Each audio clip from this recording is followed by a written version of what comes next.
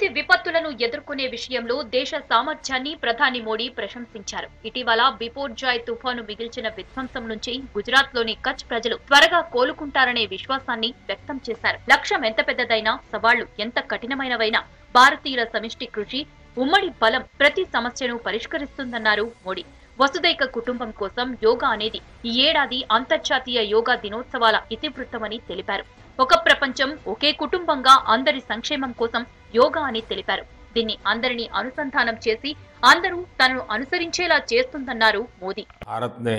आपदा प्रबंधन की जो ताकत विकसित की है वो आज एक उदाहरण बन रही है प्राकृतिक आपदाओं से मुकाबला करने का एक बड़ा तरीका है प्रकृति का संरक्षण आजकल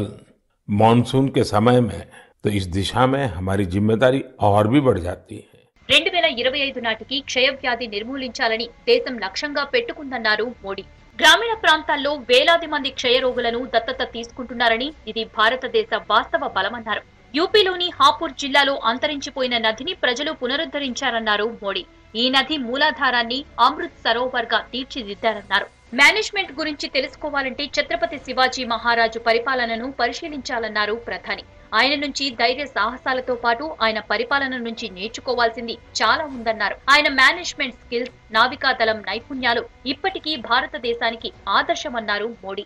మరీజో హర్ జరూరీ సహాయత ఉపలబ్ధ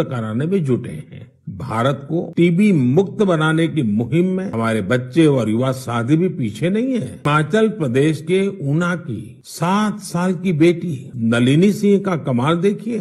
దేశ చరిత్రలో ఎమర్జెన్సీ కాలం చీకటి యుగమన్నారు ప్రధాని నరేంద్ర మోడీ ప్రజాస్వామ్యానికి మద్దతిచ్చే వారిపై అకృత్యాలు జరిగినట్లు గుర్తు చేశారు భారతదేశం ప్రజాస్వామ్యానికి తల్లి లాంటిదే ఇక్కడ రాజ్యాంగమే అత్యున్నతం ప్రజాస్వామ్య విలువలు కలిగి ఉన్న ఈ దేశంలో ఎమర్జెన్సీ విధించిన జూన్ ఇరవై ఐదవ తేదీని మనం మర్చిపోలేమని అన్నారు మోదీ यह वही दिन है जब हमारे देश पर इमरजेंसी थोपी गई थी यह भारत के इतिहास का काला दौर लाखों लोगों ने इमरजेंसी का पूरी ताकत से विरोध किया था लोकतंत्र के समर्थकों पर उस दौरान इतना अत्याचार किया गया इतनी यातनाएं दी गई कि आज भी